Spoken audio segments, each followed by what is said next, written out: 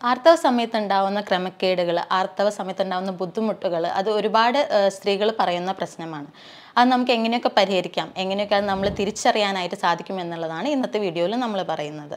ഞാൻ doctor Athira life style physician Bhoomi nature cure and wellness Koottanad.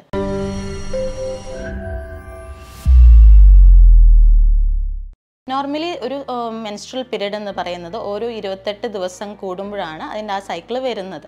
Okay ഇരുപത്തെട്ട് എന്ന് പറയുന്ന ഒരു റഫ് കണക്കാണ്. നമ്മൾ ശരിക്കും പറഞ്ഞു കഴിഞ്ഞിട്ടുണ്ടെങ്കിൽ ഇരുപത്തൊന്ന് മുതൽ മുപ്പത്തഞ്ച് ദിവസം വരെ ഒരു റേഞ്ച് നമുക്ക് വരാവുന്നതാണ്.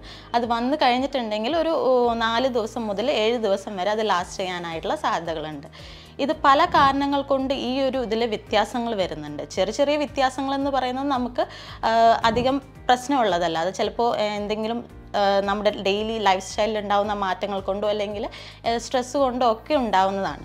അത് നമ്മൾ കാര്യമാക്കേണ്ടതില്ല എന്നാൽ വലിയ വ്യത്യാസങ്ങൾ ഉണ്ടാവുകയാണെന്നുണ്ടെങ്കിൽ അത് നമ്മൾ ശ്രദ്ധിക്കേണ്ടതാണ്. എപ്പോഴാണ് നിങ്ങളുടെ പീരീഡ്സ് ഇറഗുലർ ആണെന്ന് പറയുന്നത്?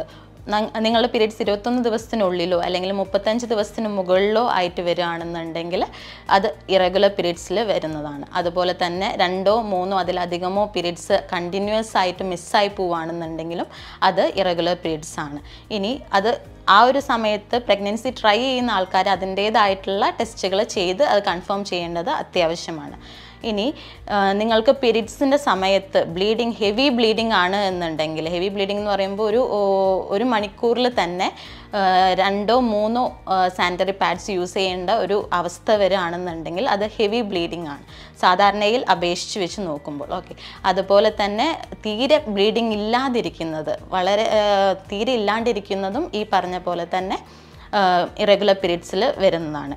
ഇനി ഇപ്പോൾ ഈ പീരീഡ്സ് തമ്മിലുള്ള ഒരു അകലം ഇപ്പോൾ ഒരു ഒമ്പത് ദിവസത്തിന് മുകളിലായിട്ട് വരികയാണെന്നുണ്ടെങ്കിൽ ഇപ്പോൾ അതായത് ആദ്യത്തെ പീരീഡ്സ് ഒരു ഇരുപത്തെട്ടാമത്തെ ദിവസത്തിൽ വന്നു. പിന്നത്തെ പീരീഡ്സ് ഒരു മുപ്പത്തേഴ് ദിവസത്തിന് ഒരു ഗ്യാപ്പിലാണ് വന്നിരിക്കുന്നത്. അത് കഴിഞ്ഞിട്ടുള്ള പീരീഡ്സ് പിന്നെ വീണ്ടും ഒരു ഇരുപത്തൊമ്പതാമത്തെ ദിവസം വരുന്നു. അപ്പോൾ ഒരു ഒമ്പത് ദിവസത്തിന്റെ ഗ്യാപ്പ് വെച്ചിട്ട് വരുവാണെന്നുണ്ടെങ്കിൽ അതും ഈ റെഗുലർ പീരീഡ്സിൽ വരുന്നതാണ് ശ്രദ്ധിക്കേണ്ടതാണ്. അതുപോലെ തന്നെ പീരീഡ്സിന്റെ സമയത്ത് അമിതമായിട്ടുള്ള ക്ഷീണം അതുപോലെ തന്നെ വല്ലാതെ ഛർദി ഉണ്ടാവുക ഭയങ്കര ക്രാമ്പിങ് ഭയങ്കരമായിട്ട് പെയിന് കാര്യങ്ങൾ ഉണ്ടാവുന്നുണ്ടെന്നുണ്ടെങ്കിൽ അതുപോലെ തന്നെ തലകറക്കം തുടങ്ങിയവ ഉണ്ടാവുന്നത് ഈ പറഞ്ഞ ഇറഗുലർ പീരീഡ്സിൽ വരുന്നതാണ്. ചെറിയ ചെറിയ മാറ്റങ്ങൾ ഉണ്ടാവുന്നത് സാധാരണയാണ്. എല്ലായ്പ്പോഴും ഒരേ തരത്തിൽ തന്നെ ഒരേ കറക്റ്റ് ഓർഡറിൽ തന്നെ പീരീഡ്സ് വരണമെന്നില്ല. ചെറിയ വേരിയേഷൻസ് ബ്ലീഡിങ്ങിലായാലും ടൈമിങ്ങിലായാലും ചിലപ്പോൾ ഒരു ഒരു ദിവസം രണ്ട് ദിവസം വ്യത്യാസത്തിലൊക്കെ പീരീഡ്സ് വരാറുണ്ട്. അപ്പോൾ അതൊന്നും അത്ര പ്രശ്നമുള്ള കാര്യങ്ങളല്ല. ചിലപ്പോൾ അതിന് പല കാരണങ്ങൾ കൊണ്ട് ഈ ഡിലേ ഉണ്ടായെന്നിരിക്കാം. ഒന്നില്ലെങ്കിൽ സ്ട്രെസ്സോ ടെൻഷനോ അല്ലെങ്കിൽ മറ്റ് പല കാരണങ്ങൾ കൊണ്ടും ഉണ്ടാവും. അപ്പോൾ അങ്ങനെയുള്ളത് നമ്മൾ ശ്രദ്ധിക്കേണ്ടതില്ല ഇപ്പം ഈ പറഞ്ഞതുപോലെ വല്ലാതെ ഡിഫറൻസ് വരികയാണെന്നുണ്ടെങ്കിൽ നിങ്ങൾ അത് ശ്രദ്ധിക്കേണ്ടതാണ്. എന്തൊക്കെ കാരണങ്ങൾ കൊണ്ടാണ് ഇറഗുലർ പീരീഡ്സ് വരുന്നത്? ആദ്യത്തെ കാരണം എന്ന് പറയുന്നത് സ്ട്രെസ്സാണ് ആ ഒരു സമയത്ത് എന്തെങ്കിലും സ്ട്രെസ്സോ ടെൻഷനോ കാര്യങ്ങളോ ഉണ്ടായിട്ടുണ്ടെന്നുണ്ടെങ്കിൽ അത് നിങ്ങളുടെ ഹോർമോൺസിനെ ബാധിക്കുകയും അതുമൂലം പീരീഡ്സിന് ഇറഗുലാരിറ്റി ഉണ്ടാവുകയും ചെയ്യുന്നുണ്ട്. മറ്റൊരു കണ്ടീഷൻ എന്ന് പറയുന്നത് എന്തെങ്കിലും മെഡിക്കൽ കണ്ടീഷൻസ് ഉണ്ട് എന്നുണ്ടെങ്കിൽ അതുമൂലം ഇങ്ങനത്തെ പ്രശ്നങ്ങൾ വരാറുണ്ട്. അതിലൊന്ന് പി സി ഒ എസ് ഇപ്പോൾ പി സി ഒ എസ് കണ്ടീഷനിൽ നമ്മളുടെ അണ്ടാശയം ആൻഡ്രോജൻ ഹോർമോണിനെ ഉൽപ്പാദിപ്പിക്കുന്നു. ഈ ആൻഡ്രോജൻ ഹോർമോൺസ് നമ്മളുടെ പീരീഡ്സിനെ വൈകിപ്പിക്കാനായിട്ടുള്ള കാരണമാവുന്നുണ്ട്. അതുപോലെ തന്നെ തൈറോയിഡ് അതുപോലെ പിറ്റ്യൂട്ടറി ഗ്രന്ഥിയിൽ ഉണ്ടാവുന്ന മറ്റ് അസുഖങ്ങൾ. അതുമൂലവും ഈ ഹോർമോണൽ ചേഞ്ചുകൾ ഉണ്ടാവുകയും അതുവഴി പീരീഡ്സിന്റെ വ്യത്യാസങ്ങൾ ഉണ്ടാവുകയും ചെയ്യുന്നുണ്ട്. അതുപോലെ എൻഡോമെട്രിയോസിസ് എന്ന് പറയുന്ന ഒരു കണ്ടീഷൻ ഈ എൻഡോമെട്രിയോസിസ് എന്ന് പറയുന്ന എൻഡോമെട്രിയൽ ടിഷ്യൂ നിങ്ങളുടെ യൂട്രസിന്റെ ഉള്ളിലല്ലാതെ ഓവറിയിലോ അല്ലെങ്കിൽ ഫെലോപ്പിൻ ട്യൂബിലോ ഒക്കെ പോയി അവിടെ വളരുകയാണെന്നുണ്ടെങ്കിൽ അങ്ങനെ ഉണ്ടാവുന്ന പ്രോബ്ലം ആണ് എൻഡോമെട്രിയോസിസ് അതുവഴി വല്ലാതെ സിവിയർ ആയിട്ടുള്ള ബ്ലീഡിങ്ങും കാര്യങ്ങളൊക്കെ ഉണ്ടാവാനും ഇത് കാരണമാക്കുന്നുണ്ട്. അതുപോലെ മറ്റെന്തെങ്കിലും ഓവേറിയൻ ക്യാൻസറോ അല്ലെങ്കിൽ യൂട്രൈൻ ക്യാൻസറോ ഒക്കെ ഇതിന് കാരണമാവുന്നുണ്ട്. ഇനി മെഡിക്കൽ കണ്ടീഷൻ അല്ലാതെ നമ്മുടെ ലൈഫ് സ്റ്റൈലിൽ ഉണ്ടാവുന്ന മാറ്റങ്ങൾ പെട്ടെന്ന് നമ്മൾ വെയിറ്റ് വെക്കുകയാണെന്നുണ്ടെങ്കിൽ അല്ലെങ്കിൽ പെട്ടെന്ന് തന്നെ വെയിറ്റ് കുറയുകയാണെന്നുണ്ടെങ്കിൽ അതും ഈ പറഞ്ഞ പോലെ തന്നെ പിരിഡ്സിനെ ബാധിക്കുന്നതാണ്. പിന്നെ മറ്റെന്തെങ്കിലും അസുഖങ്ങളുണ്ടെന്നുണ്ടെങ്കിൽ അതുപോലെ തന്നെ എന്തെങ്കിലും ബർത്ത് കൺട്രോൾ മെഡിക്കേഷൻസ് നമ്മൾ എടുക്കുന്നുണ്ടെന്നുണ്ടെങ്കിലും ഇങ്ങനത്തെ പ്രശ്നങ്ങൾ ഉണ്ടാവാറുണ്ട്.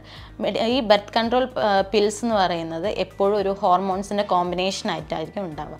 അപ്പോൾ അത് നമ്മളുടെ ശരീരത്തിൽ ഒരുപാട് മാറ്റങ്ങൾ ഉണ്ടാക്കുകയും ഇതുമൂലം പീരീഡ്സ് റെഗുലർ ആവാതിരിക്കുകയും അതുപോലെ പീരീഡ്സ് വരാതിരിക്കാനും ചാൻസുകളുണ്ട്. ഇപ്പോൾ ബർത്ത് കൺട്രോൾ പിൽസ് നമ്മളിപ്പോൾ നിർത്തിയാൽ തന്നെ ഒരു ആറ് മാസത്തേക്ക് ആ ഒരു കണ്ടീഷൻ അങ്ങനെ തന്നെ തുടർന്നുകൊണ്ടിരിക്കും. അതിനുശേഷമായിരിക്കും അത് ഒന്ന് മാറി വരുന്നത്. ഇത് നമുക്ക് എങ്ങനെ പരിഹരിക്കാം എന്നുള്ളതാണ് അടുത്തായിട്ട് നമ്മൾ നോക്കുന്നത്. ആദ്യം തന്നെ നമ്മുടെ സ്ട്രെസ്സ് സ്ട്രെസ്സ് പതുക്കെ നമുക്ക് കുറയ്ക്കുകയാണ് വേണ്ടത്. അപ്പോൾ അതിന് വേണ്ടിയിട്ട് നമുക്ക് യോഗ അതുപോലെ മെഡിറ്റേഷൻ അതുപോലെ പ്രാണായാമസ് എല്ലാം നമ്മുടെ ദിവസേനയുള്ള ഡെയിലി ഹാബിറ്റ്സിലേക്ക് ഉൾപ്പെടുത്താനായിട്ട് ശ്രമിക്കുക. ഇത് നമ്മുടെ മൈൻഡ് റിലാക്സ് ചെയ്യാനായിട്ടും സ്ട്രെസ്സ് ടെൻഷൻ മുതലായവ മൂലമുണ്ടാകുന്ന പിരീഡ്സിലുണ്ടാകുന്ന ക്രമക്കേടുകളെല്ലാം മാറ്റാനായിട്ട് നമുക്ക് സാധിക്കും. അതുപോലെ തന്നെ പിന്നെ നമ്മൾ എപ്പോഴും ഒരു ഹെൽത്തി വെയിറ്റ് മാൻ മെയിന്റെയിൻ ചെയ്യാനായിട്ട് ശ്രമിക്കുക. പെട്ടെന്ന് നമ്മൾ ഡയറ്റ് കാര്യങ്ങൾ എടുത്തിട്ട് അല്ലെങ്കിൽ ഒരുപാട് സ്ട്രെസ് എക്സസൈസുകൾ ചെയ്തിട്ട് വെയിറ്റ് പെട്ടെന്ന് കുറയ്ക്കുന്നതും കൂട്ടുന്നതും അത് ചെയ്യാതെ നമ്മളെപ്പോഴും ഒരു ഹെൽത്തി വെയിറ്റ് മെയിന്റെയിൻ ചെയ്യാനായിട്ട് ശ്രമിക്കേണ്ടതാണ്. റെഗുലറായിട്ട് എക്സസൈസ് ചെയ്യാനായിട്ട് നോക്കുക. ഇത് നമ്മളുടെ പെയിൻ പീരീഡ്സിന്റെ സമയത്ത് ഉണ്ടാവുന്ന പെയിൻ കുറയ്ക്കാനായിട്ടും അതുപോലെ തന്നെ ക്രമം തെറ്റി ഉണ്ടാവുന്ന പീരീഡ്സ് അത് റെഗുലർ റെഗുലറായിട്ട് വരാനായിട്ടും ഇത് സഹായിക്കുന്നതാണ്. അതുപോലെ തന്നെ ഡെയിലി ഒരു കുറച്ച് സമയമെങ്കിലും ഒരു ഇരുപത് മിനിറ്റെങ്കിലും എക്സസൈസ് ചെയ്യുന്നത് ഈ ഹോർമോണൽ ബാലൻസ് എപ്പോഴും മെയിന്റെയിൻ ചെയ്യാനായിട്ടും അതുപോലെ തന്നെ പീരീഡ്സ് സമയത്തുള്ള ബുദ്ധിമുട്ടുകൾ ഒഴിവാക്കാനായിട്ടും സഹായിക്കുന്നുണ്ട്. അതായത് ധനുരാസന അതുപോലെ യോഗ പോസ്റ്റേഴ്സിൽ വരുന്നതാണ് ധനുരാസന അതുപോലെ ബദ്ധകോണാസന ത്രികോണാസന ഭുജംഗാസനം സേതുബന്ധാസന തുടങ്ങിയിട്ടുള്ള കുറച്ച് ആസനാസാണ് ഇതൊക്കെ നമുക്ക് ഈ പറഞ്ഞ പീരീഡ്സ് റെഗുലറൈസ് ചെയ്യാനായിട്ട് ഹെൽപ്ഫുള്ളാണ് അതിന് അടുത്തതായിട്ട് ചെയ്യേണ്ടത് നമുക്ക് ഒരു ഹെൽത്തി ഡയറ്റ് മെയിന്റെയിൻ ചെയ്യുക എന്നുള്ളതാണ്. പുറമെ നിന്ന് കിട്ടുന്ന ഓയിലി ഫുഡുകൾ അതുപോലെ തന്നെ എരിവുള്ള വല്ലാതെ സ്പൈസി ആയിട്ടുള്ള ഭക്ഷണങ്ങൾ വല്ലാതെ സോൾട്ടി ആയിട്ടുള്ള ഭക്ഷണങ്ങൾ പരമാവധി ഒഴിവാക്കാനായിട്ട് നോക്കുക. ക്യാൻഡ് ഭക്ഷണങ്ങൾ നമ്മൾ ബോട്ടിലായിട്ട് കിട്ടുന്ന ബിവറേജസ് സോഫ്റ്റ് ഡ്രിങ്ക്സ് തുടങ്ങിയവയൊക്കെ പരമാവധി ഒഴിവാക്കാനായിട്ട് നോക്കുക. അതുപോലെ തന്നെ മറ്റ് ഹെൽത്തി ഡയറ്റുകൾ കൂടുതലായിട്ട് വെജിറ്റബിൾസ് അതുപോലെ തന്നെ എഗ്ഗ് പാൽ തുടങ്ങിയൊക്കെ നമ്മുടെ ഭക്ഷണത്തിലേക്ക് കൂടുതലായിട്ട് ആഡ് ചെയ്യാനായിട്ട് നോക്കേണ്ടതാണ്. വൈറ്റമിൻ ബി അതുപോലെ vitamin B six vitamin D അടങ്ങിയിട്ടുള്ള ഫുഡുകളൊക്കെ കൂടുതലായിട്ട് കഴിക്കാനായിട്ട് നോക്കുക. ഇലക്കറികൾ കൂടുതലായിട്ട് കഴിക്കാനായിട്ട് നോക്കുക. പിന്നെ നമ്മുടെ വീട്ടിൽ തന്നെ നമുക്ക് എളുപ്പമായിട്ട് കിട്ടുന്ന ഇതിന് വേണ്ടി നമുക്ക് നമ്മുടെ ഡയറ്റിലേക്ക് എളുപ്പത്തിൽ ചേർക്കാൻ പറ്റുന്ന കുറച്ച് കാര്യങ്ങൾ. ആദ്യത്തെ തന്നെ എന്ന് പറയുന്നത് ഇഞ്ചിയാണ്. നമ്മുടെ വീടുകളിലെല്ലാവരുടെ വീട്ടിലും ഉണ്ടാവും ഇഞ്ചി എന്ന് പറയുന്നത്. ഇഞ്ചി ഒന്നില്ലെങ്കിൽ വെള്ളം തിളപ്പിച്ച് കുടിക്കുക അല്ലെങ്കിൽ ചായയാക്കി വെച്ച് കുടിക്കുന്നത് വളരെയധികം നല്ലതാണ്. ഇത് ഇറഗുലർ പീരീഡ്സ് അത് നോർമൽ ആക്കാനായിട്ട് വളരെയധികം സഹായിക്കുന്നുണ്ട്. അതുപോലെ തന്നെ കറുവപ്പട്ട. കറുവപ്പട്ട ഓൾമോസ്റ്റ് എല്ലാവരുടെ വീട്ടിലും ഉണ്ടാവും. അപ്പോൾ ആ കറുവപ്പട്ട ഒന്നില്ലെങ്കിൽ വെള്ളം തിളപ്പിച്ച് കുടിക്കുകയോ അല്ലെങ്കിൽ കറുവപ്പട്ട ചായയാക്കി കുടിക്കുകയോ ഒക്കെ ചെയ്യുകയാണെന്നുണ്ടെങ്കിൽ ഇത് ഹെവി ആയിട്ടുള്ള ബ്ലീഡിങ് അത് കുറയ്ക്കാനായിട്ട് സഹായിക്കും. അതുപോലെ തന്നെ പിരിഡ്സിന്റെ സമയത്ത് ഉണ്ടാവുന്ന വേദനയും കാര്യങ്ങളൊക്കെ കുറയ്ക്കാനായിട്ടും ഇത് സഹായിക്കുന്നുണ്ട്. പിരിഡ്സ് റെഗുലറൈസ് ചെയ്യാനും ഇത് ഹെൽപ്പ് ചെയ്യുന്നുണ്ട്. അതുപോലെ തന്നെ ഉലുവ വെള്ളം തിളപ്പിച്ച് കുടിക്കുന്നത് പിരിഡ്സിന്റെ സമയത്ത് ഉണ്ടാവുന്ന വേദന കുറയ്ക്കാനായിട്ട് വളരെയധികം ഹെൽപ്പ് ചെയ്യുന്നതാണ്. അതുപോലെ നിങ്ങൾക്ക് ആഡ് ചെയ്യാൻ പറ്റുന്ന ഒന്നാണ് ജാഗരി അതായത് ശർക്കര എന്ന് പറയുന്നത്. അത് നിങ്ങളുടെ ഡെയിലി ഡയറ്റിലേക്ക് അല്ലെങ്കിൽ ഈ പീരീഡ്സിന്റെ സമയത്ത് കഴിക്കുകയാണെന്നുണ്ടെങ്കിൽ ആ സമയത്ത് ഉണ്ടാവുന്ന ക്രാംസ് അതായത് മസിൽ കോച്ചിപ്പിടുത്തം കുറയ്ക്കാനായിട്ടും വേദന കുറയ്ക്കാനായിട്ടും വളരെയധികം സഹായിക്കുന്നതാണ്. അതുപോലെ തന്നെ പൈനാപ്പിൾ പൈനാപ്പിൾ നമ്മൾ കഴിക്കുകയാണെന്നുണ്ടെങ്കിൽ ഇത് നമ്മുടെ ആ യൂട്രസിന്റെ ലൈനിങ്ങിനെ ഒന്നുകൂടെ സോഫ്റ്റ് ആക്കുകയും അത് പീരിയഡ്സ് നോർമലാക്കാനായിട്ട് സഹായിക്കുകയും ചെയ്യുന്നുണ്ട്. അതുപോലെ തന്നെ പെയിൻ കുറയ്ക്കാനായിട്ടും പൈനാപ്പിൾ ഹെൽപ്പ് ചെയ്യുന്നതാണ്.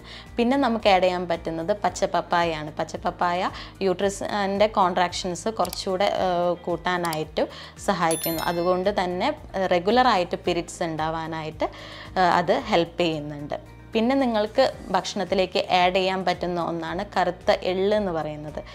കറുത്ത എള്ള് അതുപോലെ തന്നെ ഫ്ലാറ്റ് സീഡ്സ് ഇത് രണ്ടിലും ലിഗ്നിൻ എന്ന് പറഞ്ഞിട്ടുള്ള കണ്ടന്റ് അടങ്ങിയിട്ടുള്ളതാണ്. അപ്പോൾ ഇത് പീരീഡ്സ് നോർമൽ ആക്കാനായിട്ടും ആ ടൈമിൽ വേറെ വേദന കുറയ്ക്കാനായിട്ടൊക്കെ ഇത് ഹെൽപ്പ് ചെയ്യുന്നുണ്ട്. ഓക്കെ അപ്പോൾ അത് നമ്മൾ പരമാവധി ആ ഒരു പീരീഡ്സിന്റെ സമയത്ത് കഴിക്കാതിരിക്കുക. അതിന് മുന്നോ അല്ലെങ്കിൽ കുറച്ചൊരു അഞ്ച് ദിവസം അല്ലെങ്കിൽ ഒരു പത്ത് ദിവസം മുന്നായിട്ട് കഴിക്കുന്നത് വളരെയധികം സഹായിക്കുന്നതാണ്. ഇത്തരത്തിലുള്ള പ്രശ്നങ്ങൾ നമ്മൾ വന്നതിന് ശേഷം ബുദ്ധിമുട്ടുന്നതിനേക്കാൾ അത് വരാതിരിക്കാനായിട്ട് നോക്കുന്നത് കുറച്ചുകൂടെ നല്ലതായിരിക്കും. നമ്മുടെ കൗമാരത്തിലുള്ള പെൺകുട്ടികൾ അവരുടെ സ്നാക്ക് ബോക്സ് പ്രിപ്പയർ ചെയ്യുമ്പോൾ അതിനകത്തേക്ക് കൂടുതലായിട്ട് ഇത്തരത്തിലുള്ള സീഡ്സ് നട്ട്സ് അതുപോലെ തന്നെ ഫ്രൂട്ട്സ് തുടങ്ങിയവയൊക്കെ കൂടുതലായിട്ട് ആഡ് ചെയ്യാനായിട്ട് നോക്കുക. ഫ്ലാറ്റ് സീഡ്സ് അതുപോലെ തന്നെ ഈ പറഞ്ഞിട്ടുള്ള കറുത്ത എള്ള് അതുപോലെ നട്ട്സ് ഡ്രൈ ഫ്രൂട്ടുകൾ തുടങ്ങിയവയൊക്കെ കൂടുതലായിട്ട് ആഡ് ചെയ്യാന്നുണ്ടെങ്കിൽ അവർക്ക് ഈ തരത്തിലുള്ള പ്രശ്നങ്ങൾ വരാതിരിക്കാനായിട്ട് നമുക്ക് വളരെയധികം ഹെൽപ്പ് ചെയ്യാനായിട്ട് സാധിക്കും. ഇത്തരത്തിലുള്ള ബുദ്ധിമുട്ടുകൾ നിങ്ങൾക്കുണ്ടെന്നുണ്ടെങ്കിൽ ഉടനെ തന്നെ അടുത്തുള്ള ഒരു ഫിസിഷ്യനെ കാണുകയും അതിന്റെ ആവശ്യത്തിനുള്ള നിർദ്ദേശങ്ങൾ പാലിക്കുകയും ചെയ്യേണ്ടതാണ്. ഇനി ഈ പറഞ്ഞ കാര്യത്തിൽ എന്തെങ്കിലും സംശയങ്ങളുണ്ടെന്നുണ്ടെങ്കിൽ താഴെ കാണുന്ന നമ്പറിൽ കോൺടാക്റ്റ് ചെയ്യുക. നന്ദി.